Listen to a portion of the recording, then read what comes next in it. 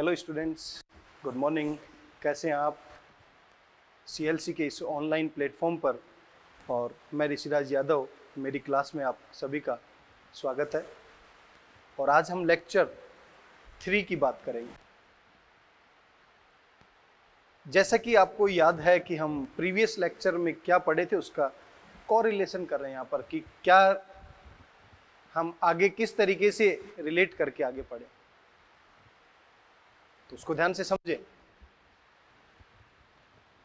Lecture number three और last class में जैसा मुझे याद है, मैंने ये बातें बताई थी आपको कि ओपनिंग्स यदि एक्सटर्नल नॉस्ट्रल में दो ओपनिंग है तो उसे बोलते हैं डायराइनस कंडीशन और ये रेस्पिरेटरी पैसेज के बारे में बात कर रहे थे कि एयर एक्सटर्नल नॉस्ट्रल से नेजल चैम्बर में नेजल चैम्बर से इंटरनल नेयर में इंटरनल नेयर से नेजोफेरिंग्स में फिर ग्लोटिस देन लेरिंग्स ट्रेकिया और ऐसे होती हुई फाइनली कहाँ पर पहुंचेगी? इस एल्यूलाई रीजन यदि मैं इसको कंपेयर करूँ तो जो रेड कलर में लिखा हुआ है alveolar duct atrium alveolar sac and alveoli ये जो है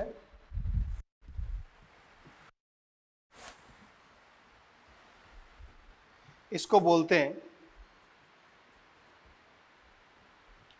एक्सचेंज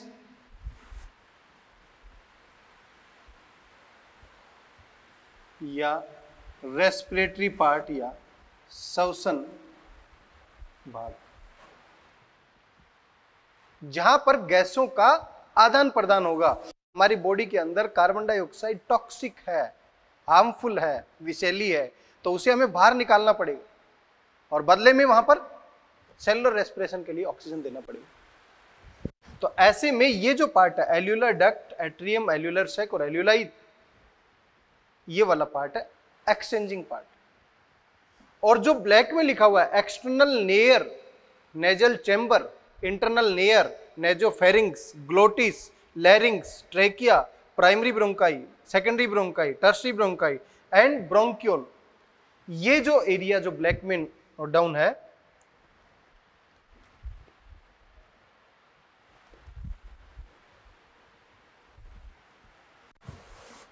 ये वाला पार्ट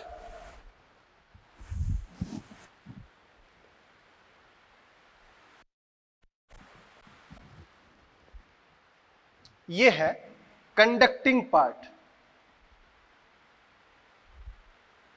कंडक्टिंग पार्ट और इसी को बोलते हैं।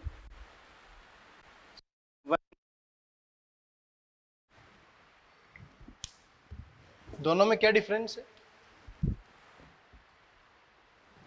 तो दोनों में डिफरेंस को समझने के लिए हम एक टेबुलर फॉर्म में स्टडी करेंगे। एक टेबल की फॉर्म में स्टडी करते हैं।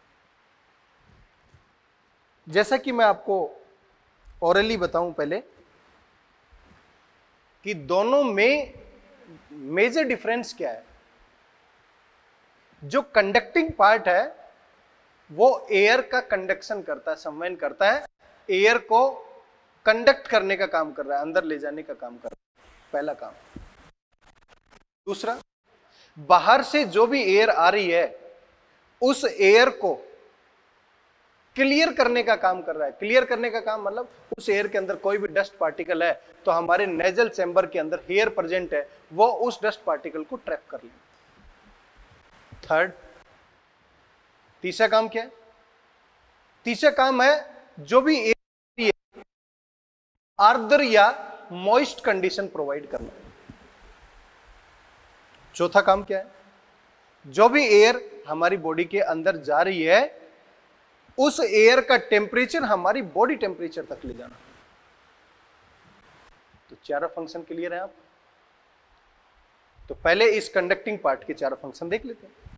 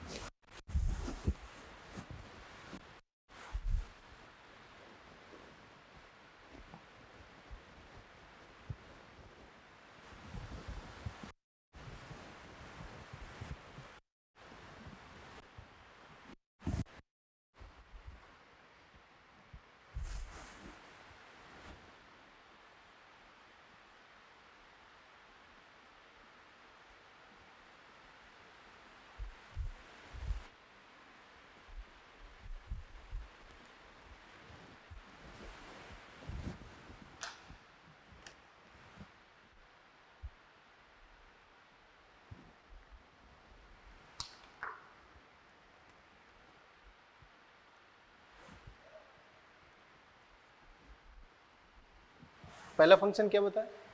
It conduct the air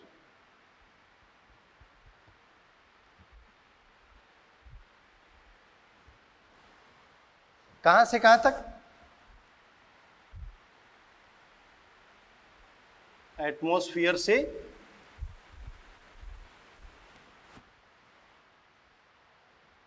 atmosphere से एयर को लंग्स तक लाने का काम करेगा। Second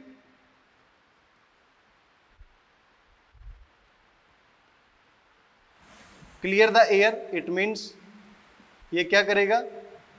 remove the dust particle जो मिट्टी के कण होंगे, उनको रिमूव करने का काम करेगा। Third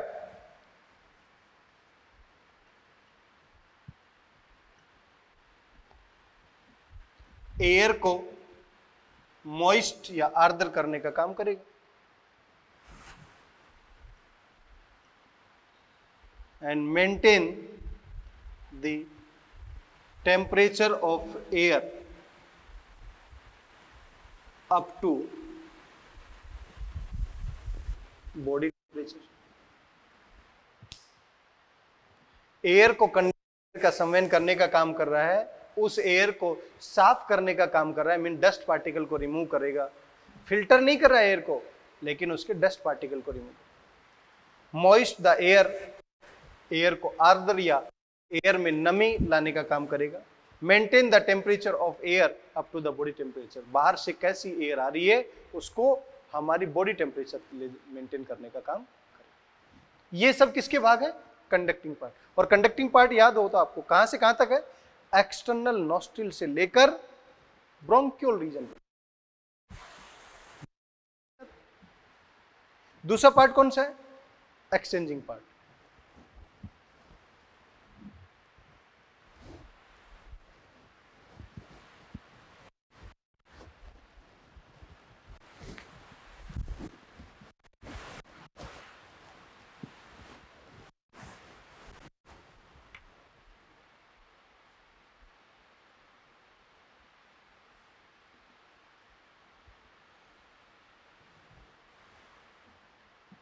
exchanging part exchanging part कौन कौन सा?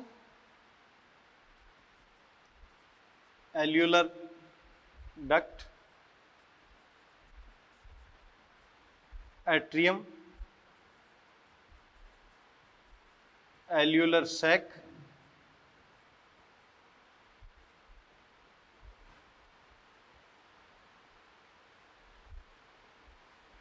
and finally copy exchanging part में विशेष प्रकार की चपटी कोशिकाएँ पाई जाती हैं। और वो चपटी कोशिकाएँ जो हैं फ्लैट सेल्स चपटी कोशिकाएँ पाई जाती हैं। और वो जो फ्लैट सेल्स हैं, वो दो प्रकार की हैं। टाइप वन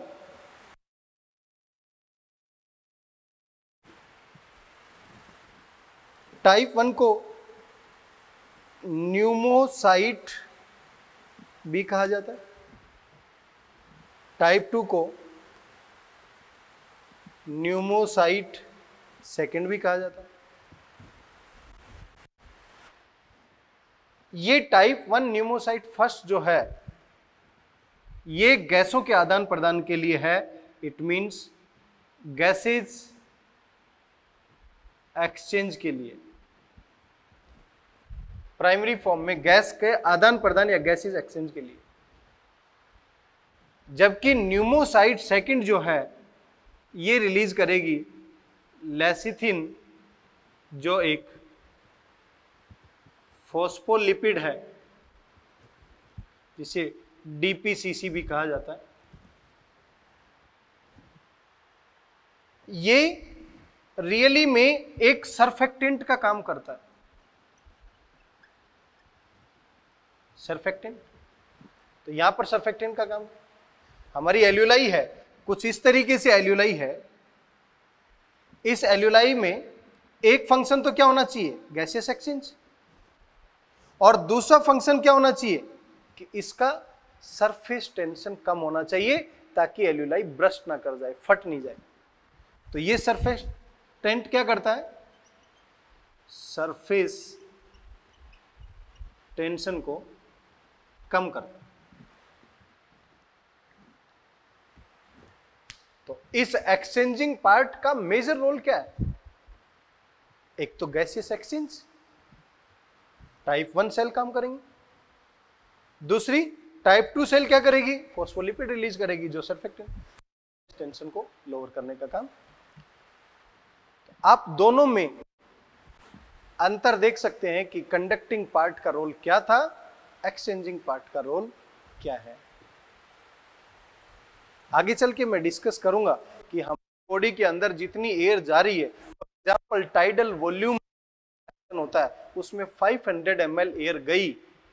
तो एक्सचेंजिंग के पास में 500 नहीं। तो जो पार्ट कंडक्टिंग पार्ट में रह गया और वापस आ गया, वो पार्ट आगे चलकर डेड वॉल्यूम या मृत आए और जो पार्ट यहाँ पर आ गया, उसको क्या बोलेंगे? एल्यूलर वेंटिलेशन मींस लगभग 500 हंड्रेड का 350 ml यहाँ पर आ जाता है।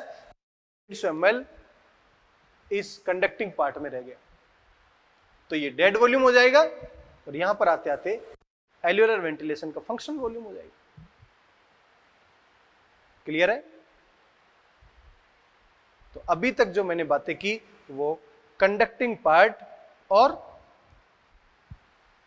दूसरा पार्ट एक्सचेंजिंग पार्ट उन दोनों में डिफरेंस करने की और आगे क्या?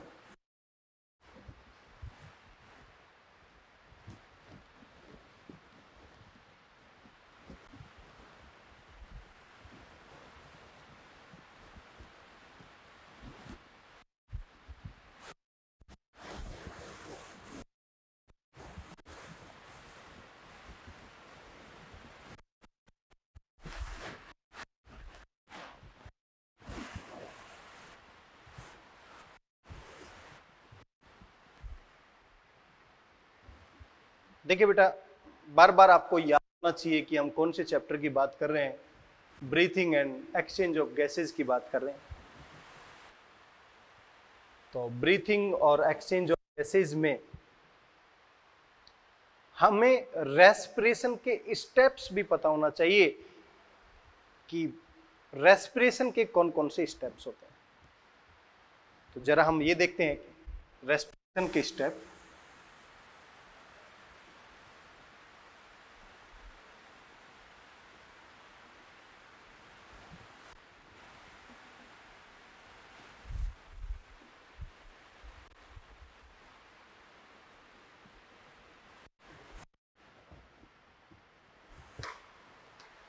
श्वसन के कौन कौन से चरण?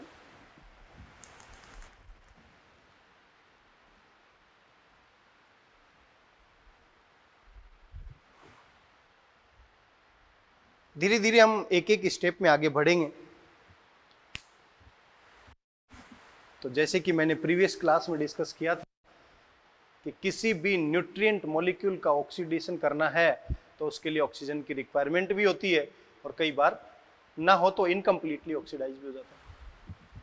इस बेसिस पर मैंने बताया था एरोबिक रेस्पिरेशन और एनएरोबिक वायवीय श्वसन और अवायवीय श्वसन हम यहाँ पर बात कर रहे हैं कि किसी भी सेल को न्यूट्रिएंट मॉलिक्यूल को यदि ऑक्सीडाइज करना है तो उसे ऑक्सीजन चाहिए। तो फाइनल काम क्या है उस सेल का? ऑक्सीजन को कंज्यूम करके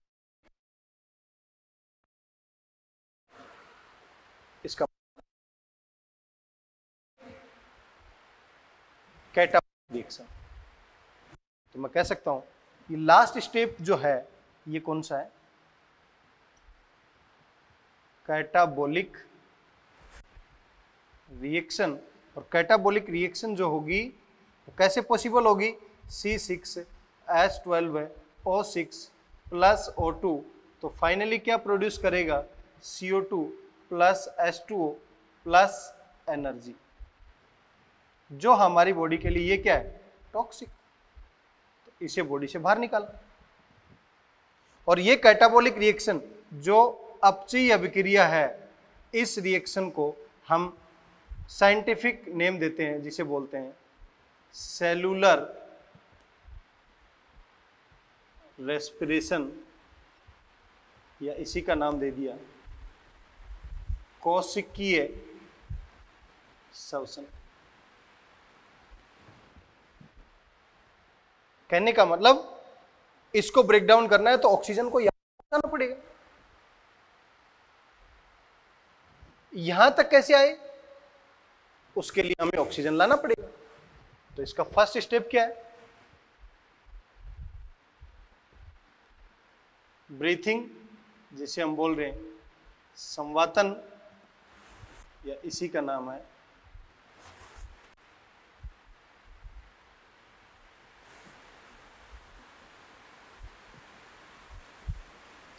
पल्मोनरी वेंटिलेशन या फुफ्फुसीय संवातन breathing simply means atmospheric fresh air को इन करना और बॉडी के अंदर कार्बन डाइऑक्साइड रिच एयर जो बनी है एल्यूलाई के अंदर। उसको बाहर निकालना ब्रीथ इन और ब्रीथ आउट तो हमारे पास ब्रीथ इन करने पर ऑक्सीजन आ गई।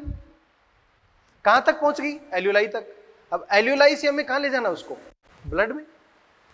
तो मैं कह सकता हूँ diffusion between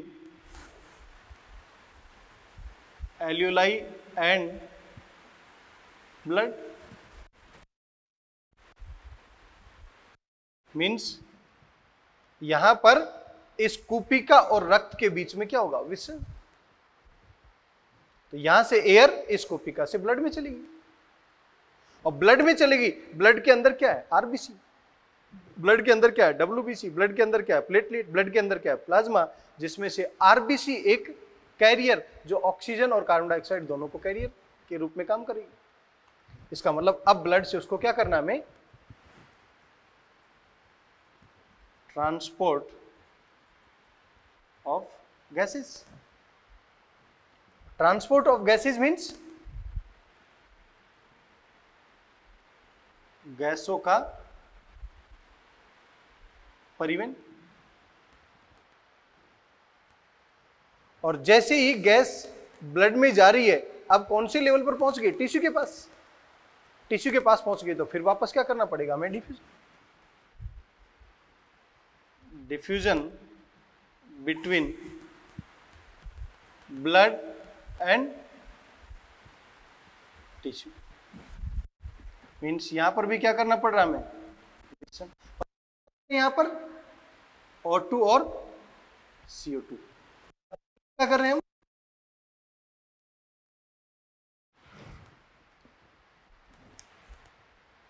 तो रेस्पिरेशन या श्वसन के जो स्टेप मैंने बताया था आपको फ़र्स्ट लेक्चर में कि रेस्पिरेशन एक वास्ट और एक बड़ी टर्मिनोलॉजी है और उसका एक छोटा सा सेगमेंट क्या है ब्रीथिंग देख सकते हैं आप।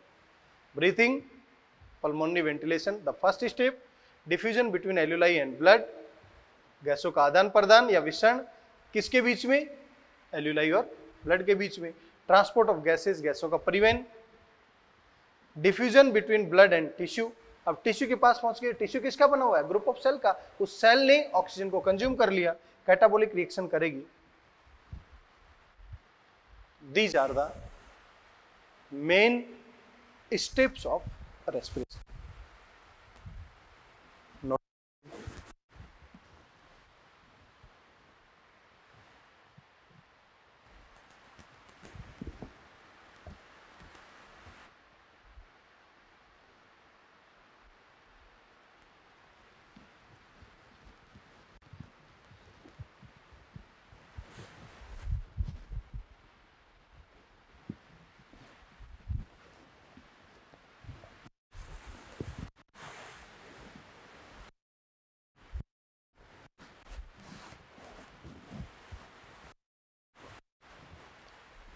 Hopefully यहाँ तक सभी चीज़ें क्लियर हैं।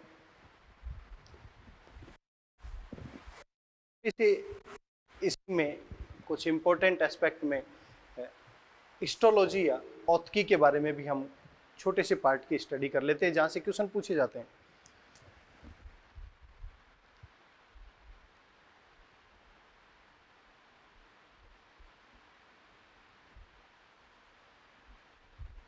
नेजल चैम्बर या नासा कोस्ट। और इस नासा कोस्ट में तीन अलग अलग पार्ट है।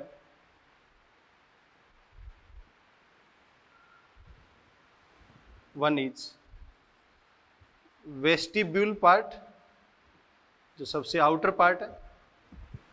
Another one is respiratory part last one is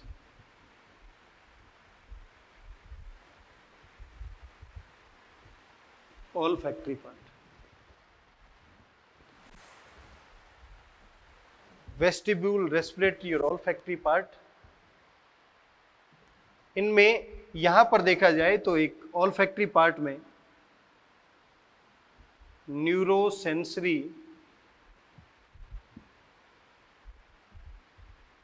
epithelium present होती है, जिसे बोलते हैं ऑल फैक्ट्री एपिथीलियम या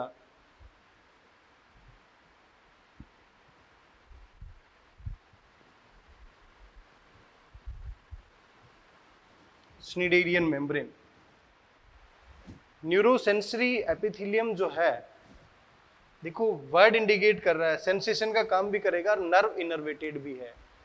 जहाँ पर न्यूरॉन और सेंसेशन दोनों का काम हो रहा है, इसका मतलब हमारी बॉडी में ये कोई ना कोई सेंस को लेकर हमारे ब्रेन तक लेकर जाएगी और वो सेंस है स्मेल का, सूंघने का।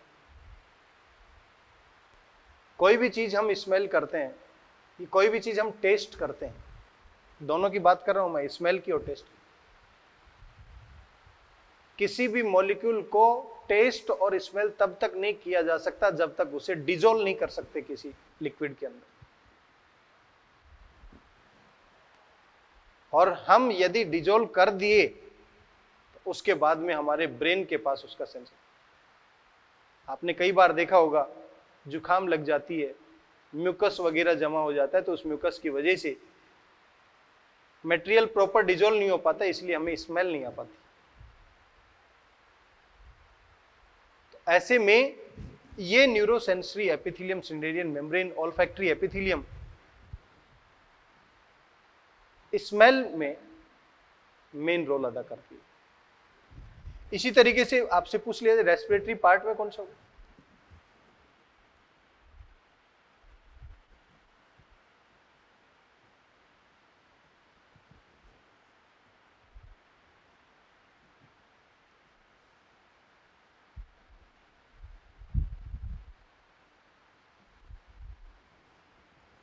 इसमें आभासी स्तृत सीलिएटेड कोलमनर एपिथेलियम या स्यूडो स्टेटिफाइड एपिथेलियम प्रेजेंट होती कैसी दिखाई देगी? आभासी स्तृत क्यों बोल रहे हैं? क्योंकि यहाँ पर सेल इस तरीके से होती हैं। कोलमनर सेल्स हैं, लेकिन ये बेसमेंट मेम्ब्रेन और यहाँ पर कुछ छोटी सेल भी हैं। तो लॉन्ग सेल और स्मॉल सेल दोनों सेल प्रेजेंट है, इसीलिए ऐसा दिखाई देता है कि ये मल्टी लेयर्ड है। दिस इज़ बेसमेंट मेम्ब्रेन और एक कॉलमनर सेल है, ये लॉन्ग सेल है, और ये सेल तो स्तृत दिखाई देती है, इसीलिए इसको नाम कह दिया गया? स्यूडो स्ट्रेटिफाइड आवासी स्तृत सीलिएटेड कोलमनर एपिथेलियम मींस उपकला उत्तक यहाँ पर पाया जाता है। क्लियर है यहाँ तक? नोट करें इसे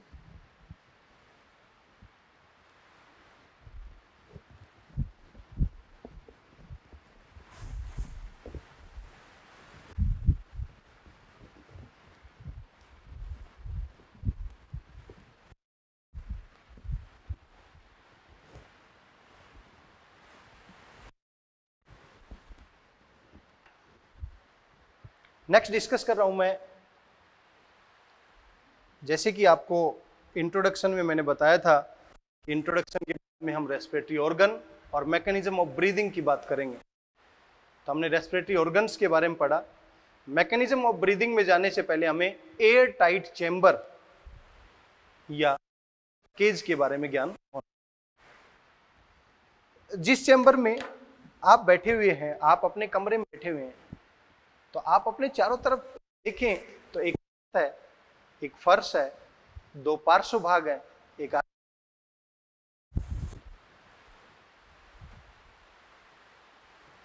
इस तरीके से आपको छह अलग अलग सतह दिखाई दे रही हैं, दो साइड की, दो आगे पीछे की, ऊपर नीचे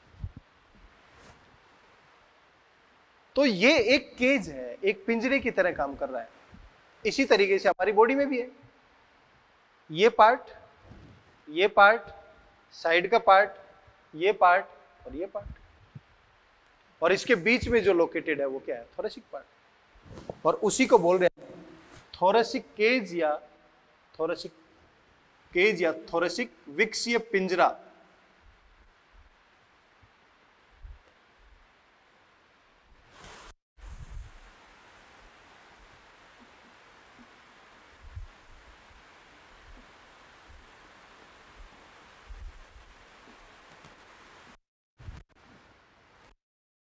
अभी मैंने बताया कौन कौन सी सरफेस होनी चाहिए इसमें? होना चाहिए। डोर्सल एंड होना चाहिए। एंड होना चाहिए मीन्स और एंड होना चाहिए। तो मैं कह सकता हूँ।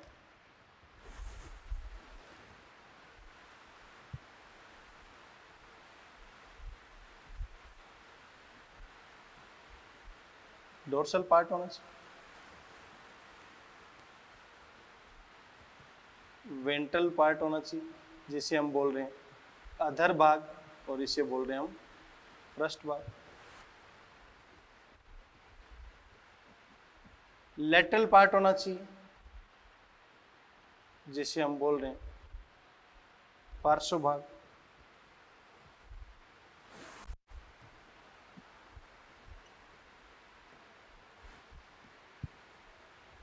एंटीरियर पार्ट होना चाहिए। जिसे हम बोल रहे हैं, अग्र भाग।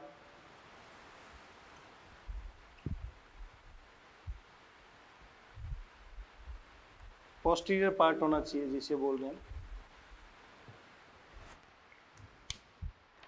किसी भी थोरेसिक केज को कंपोज करने के लिए ये सारे भाग होने चाहिए।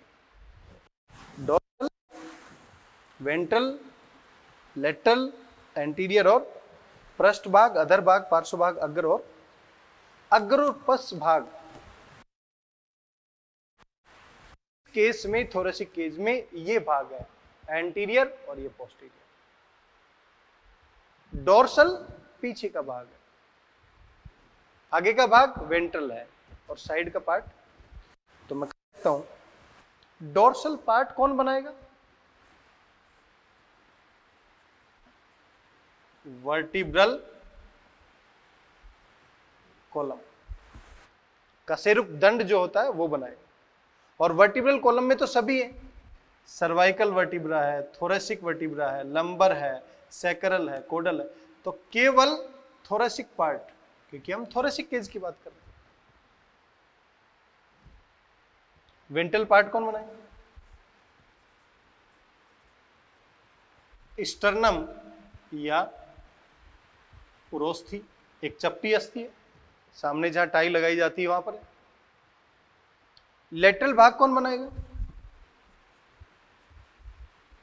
रिब्स।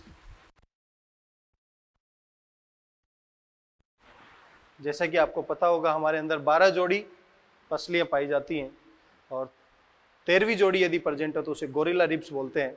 लेकिन हम जनरल बात करें तो 12 जोड़ी पाई जाती है, जिसमें से वन से लेकर सेवन पेयर जो वर्टिब्रल कोलम और स्टर्नम दोनों से अटैच होती है, इसीलिए इनको बोलते हैं true ribs anterior part anterior part neck region and clavicle clavicle collar bone को बोला जाता है. And posterior part posterior part यहाँ पर कौन है?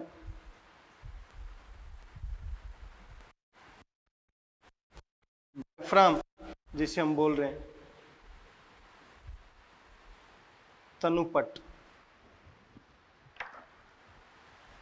इस विक्षीय पिंजरा के हमें सारे भाग पता लग गए।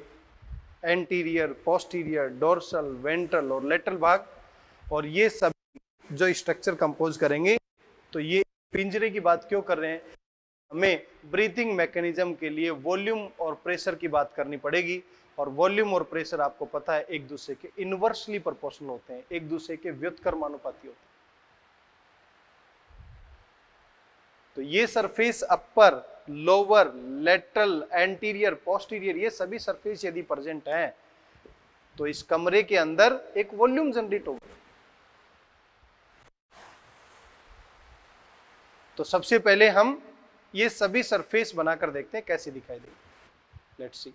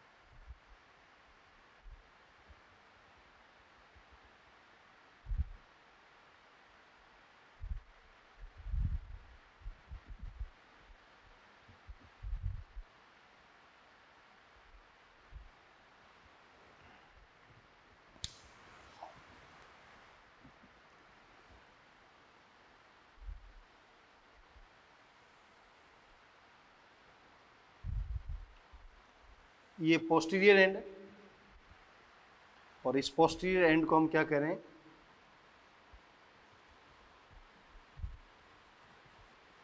डायफ्राम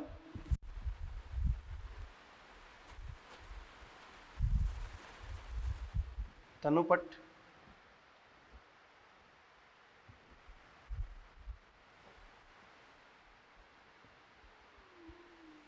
ये इसका इंटीरियर एंड है। जिसे हम बोल रहे हैं नेक रीजन या clavicle.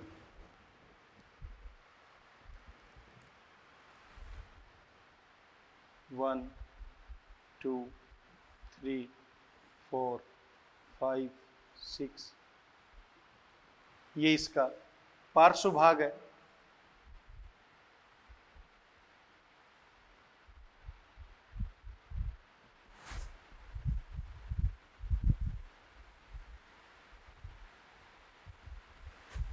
जो पार्श्व भाग है, वो कौन बना रहा है? विब्स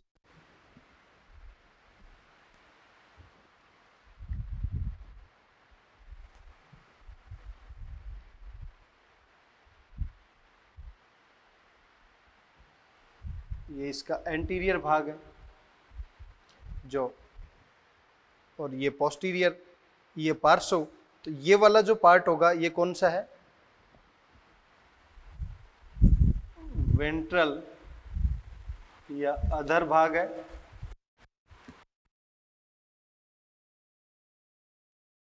बनाएगा। और इसी के बैक साइड में देखा जाए तो ये डोटेड लाइन से जो मैं शो कर रहा हूँ,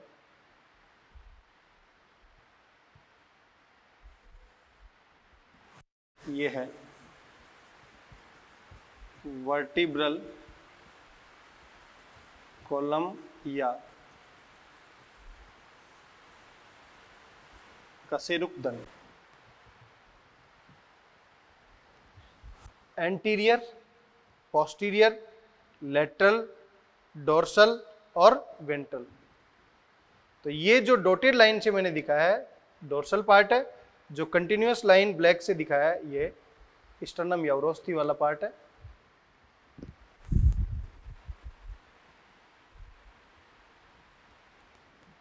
ये जो आपको दिखाई दे रहा है, ये एक complete thoracic cage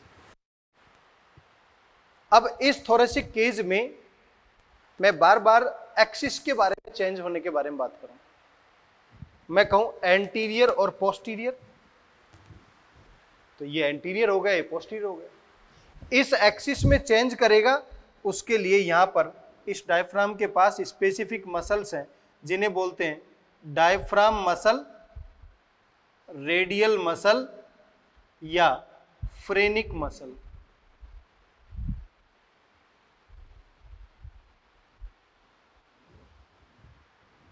Specific muscle fibre या पेशी तंतु पाए जाते हैं, जो इस एंटीरियर पोस्टीरियर एक्सिस में चेंज करें कैसे चेंज होगा? ये डायफ्राम इस तरीके से डोम शेप में, गुंबदाकार, ये नीचे चला जाए तो हमें स्पेस मिल जाएगी, वॉल्यूम बढ़ जाएगा। इसको रेगुलेट करने के लिए यहाँ पर कौन सी मसल्स हैं? रेडियल मसल फ्रेनिक मसल या डायफ्राम मसल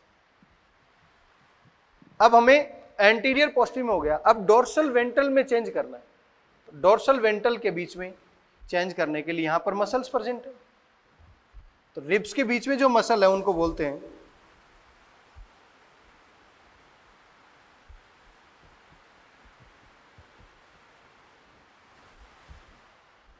अंतर पार्श्विक मसल, जो यहाँ पर है इंटरकोस्टल मसल जो है अंतर पार्श्विक पेशियाँ जो है, वो रिप्स के बीच में है, जो डोर्सल और वेंटल एक्सिस में चेंज करने का काम करेंगे। देखो बेटा, आज इस क्लास में मैंने क्या क्या बातें की आपसे? इस क्लास में मैंने बातें की कि किस तरीके रेस्पिरेटरी पार्ट कंडक्टिंग पार्ट से डिफर है। अलावा, मैंने न्यूमोसाइट फ़र्स्ट और न्यूमोसाइट सेकंड की बातें की। न्यूमोसाइट फ़र्स्ट का रोल क्या था? एस एक्सचेंज न्यूमोसाइट सेकंड का रोल क्या था? सरफेक्टेंट फॉस्फोलिपिड लेसिथिन रिलीज़ करना जो सरफेस टेंशन को कम करेगा, जिससे कोपिकाएँ क्षतिग्रस्त होने से बच जाएँगी। उसके बाद क्या बातें की कि डिफरेंट स्टेप्स ऑफ़ रेस्पिरेशन और डिफरेंट स्टेप में हमने क्या क्या बातें की, कि कैसे एयर को अंदर ले जाया जाए तो फ़र्स्ट स्टेप था पल्मोनरी वेंटिलेशन या ब्रीदिंग ब्रीथ इन और ब्रीथ आउट एयर तो फ्रेश एयर को हमने इन लिया और सीओ टू रिच एयर को हमने बाहर निकाल लिया पहले स्टेप सेकेंड स्टेप उस एल्यूलाई से उन गैसेज को डिफ्यूजन के द्वारा बाई सिंपल डिफ्यूजन द्वारा हमें हाई कंसंट्रेशन से लो कंसंट्रेशन की तरफ़ उनको क्या करवा दिया? मूव करवा दिया। तो मैंने बताया diffusion between alveoli and blood में पहुँच गई। ब्लड में कैरियर आयन के फॉर्म में आरबीसी प्रेजेंट है। आरबीसी करना चाहता है। टिश्यू तक ले जाएगा। It means transport of gases जैसे टिश्यू के पास पहुँच गए, अब टिश्यू के पास पहुँचने के बाद में सेल उसको क्या करेगी? लेगी। तो सेल लेने के लिए वहाँ पर वापस डिफ्यूजन होगा। तो diffusion between blood and tissue oxygen कहाँ पहुँच गई? सेल के पास में। सेल ने क्या कर लिया उसको? सेलुलर रेस्पिरेशन में मींस कैटाबोलिक रिएक्शन में यूज़ कर लिया और कैटाबोलिक रिएक्शन से फर्दर क्या किया? CO2 रिलीज़ करवाई और ये CO2 हार्मफुल है बॉडी से। इसे क्या करना पड़ेगा? तो डिफरेंट स्टेप्स के बारे में बातें की। उसके बाद मैंने बातें की कि नेजल चैम्बर के अंदर स्टोलॉजी क्या क्या है? तो नेजल चैम्बर में रेस्पिरेटरी जो पार्ट है, एक ऑल फैक्ट्री पार्ट है तो नेजल चैम्बर के अंदर जो रेस्पिरेटरी पार्ट है, उसमें pseudo stratified columnar epithelium present होती है, जबकि ऑल फैक्ट्री एपिथीलियम में न्यूरोसेंसरी एपिथीलियम प्रेजेंट है, जिसे हम बोल रहे हैं सीड एरिया में क्लियर है मेरी बात यहाँ तक? उसके बाद मैंने बात की थोरेसिक केज और थोरेसिक केज के अलग अलग पार्ट बताए विक्सीय पिंजरा के अलग अलग भाग बताए, कि कौन सा डोर्सल भाग है वर्टिब्रल कोनम कौन सा वेंटल भाग है स्टर्नम कौन सा लेटरल भाग है रिब्स कौन सा एंटीरियर पार्ट है? नेक एंड क्लेविकल कौन सा पोस्टीरियर पार्ट है? डायफ्राम तो एंटीरियर पोस्टीरियर एक्सिस में चेंज करने के लिए मसल्स फ्रेनिक मसल्स या रेडियल मसल काम करती है, जबकि डोर्सल और वेंट्रल एक्सिस में चेंज करने के लिए इंटरकोस्टल मसल्स काम करेंगे। विभिन्न प्रकार की ये जो पेशियाँ हैं, ये ब्रीथिंग में मेन तो प्यारे बच्चों, अगली क्लास में हम इस टॉपिक का अगला कंटेंट डिस्कस करेंगे, जिसे बोलते हैं मैकेनिज्म ऑफ़ ब्रीदिंग बहुत अच्छा टॉपिक है, जहाँ से क्वेश्चन पूछे जाते हैं।